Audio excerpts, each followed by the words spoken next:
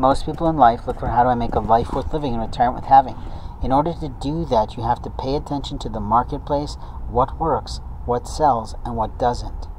If your business is not giving you the lift you need, if the income is not coming in as you expected, you probably are facing a downturn in the economy, as would any person in any industry expect, especially during a time of COVID, especially during a time of epidemic or pandemic.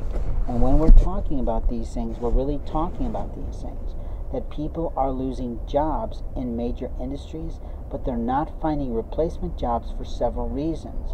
They're not finding replacement jobs because the way we go about job hunting today is totally different than it was 20, 25 years ago. Today, it's all online.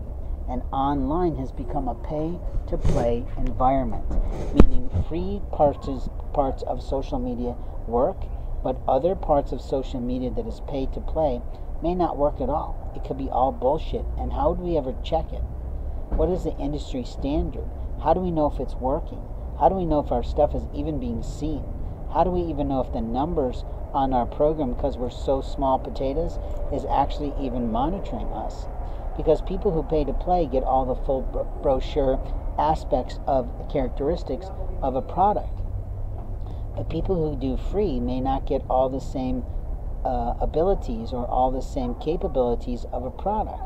So I could have a hundred views of my video, but it might only show one because the ticker taper is not being used the same on me. I'm not implying that they're doing anything illegal by any means. What I'm saying is, as technology booms, as the cost of it increase, there has to be changes. But we never, in this wildest dreams, give anyone of any corporation that owns technology or uses technology any rights to edit our videos, to edit our intellectual property, to edit our copywritten work. And let me tell you, brother, I am so fucking angry that someone keeps editing my words. I spend a lot of time walking and thinking and scripting. And then I go and sit down and do all the things that I prepared in my mind. Everything that I memorized, everything I decided to talk about, everything the Lord put on my heart, everything I want to do in marketing, everything I want to do on any aspect of life balance. Because that's what people have to focus on today is life balance.